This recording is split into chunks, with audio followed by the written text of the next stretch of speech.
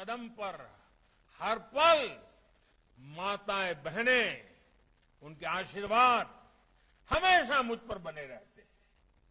इन माताओं, बहनों का जितना मैं कर्ज चुका हूँ, उतना कम है। और इसीलिए साथियों इसी संस्कार के कारण मैंने लाल किले से हिम्मत की थी एक बार बोलने की। कठिन काम है, मैं फिर कह रहा हूँ, मुझे मालूम है ये कठिन काम है, कैसे करना मुश्किल है, मैं जानता हूँ। सब राज्यों को प्रेरित करना, साथ लेना मुश्किल काम है, मैं जानता हूँ।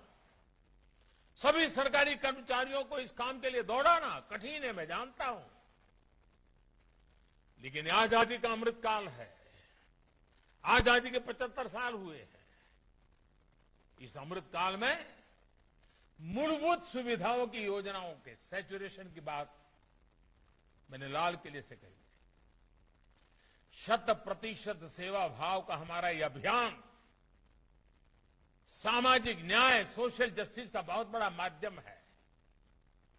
मुझे खुशी है कि हमारे गुजरात के मृदी और मक्कम मुख्यमंत्री भूपेंद्र भाई पटेल, उनके नेतृत्व में गुजरात सरकार इस संकल्प को सिद्ध करने में पूरी निष्ठा के साथ जुटी है। साथियों, हमारी सरकार ने सामाजिक सुरक्षा जन कल्याण और गरीबों को गरिमा, ये सारा जो मेरा सेचुरेशन का अभियान है ना, अगर एक शब्द में कहना है तो वो यही है, गरीब को गरिमा। गरीब की गरिमा के लिए सरकार, गरीब की गरिमा के लिए संकल्प। और गरीब की गरिमा के संस्कार, यही तो हमें प्रेरित करते हैं। पहले हम जब सोशल सिक्योरिटी की बात सुनते थे तो अक्सर दूसरे छोटे छोटे देशों के उदाहरण देते थे। भारत में इनको लागू करने के जो भी प्रयास हुए हैं, उनका दायरा और प्रभाव दोनों बहुत सीमित रहे। लेकिन साल 2014 के बाद देश ने अपने दायरे को व्यापक किया। देश सबको साथ लेकर चला। परिणाम हम सभी के सामने है।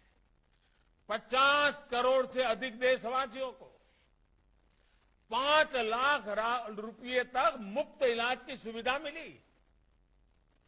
करोड़ों लोगों को चार लाख रुपया तक के दुर्घटना और जीवन बीमा की सुविधा मिली। करोड़ों भारतीयों को 60 वर्ष की आयु के बाद एक निश्चित पेंशन की व्यवस्था मिली। अपना पक्का घर, टॉयलेट, गैस कनेक्शन, बिजली कनेक्शन, पानी का कनेक्शन बैंक में खाता। ऐसी सुविधाओं के लिए तो गरीब सरकारी दफ्तरों के चक्कर काट काट करके उनकी ज़िंदगी पूरी हो जाती थी। वो हार जाते थे। हमारी सरकार ने इन सारी परिस्थितियों को बदला। योजनाओं में सुधार किया। नए लक्ष्य बनाए और उन्हें निरंतर हम प्राप्त भी कर रहे हैं।